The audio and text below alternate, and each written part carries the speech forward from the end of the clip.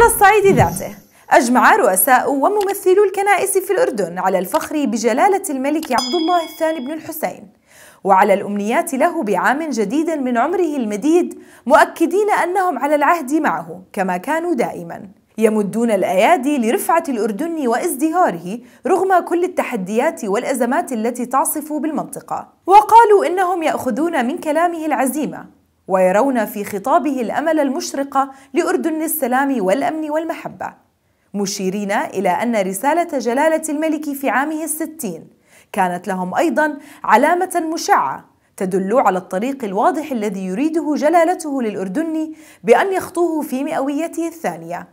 مجمعين على المحبة والوئام والعيش معا أسرة واحدة لإعلاء راية هذا الوطن الكبير بقيادته وشعبه.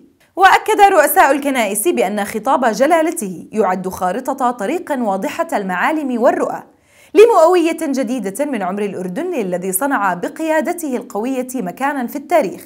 مشيرين إلى أن المسيحيين في هذه الأرض المقدسة يقع على عاتقهم أيضا مسؤولية إعمار هذا الوطن جنبا إلى جنب مع إخوتهم المسلمين. خلف قيادة هاشمية حكيمة كانت وما زالت ترسو بسفينة هذا الوطن على بر الأمان.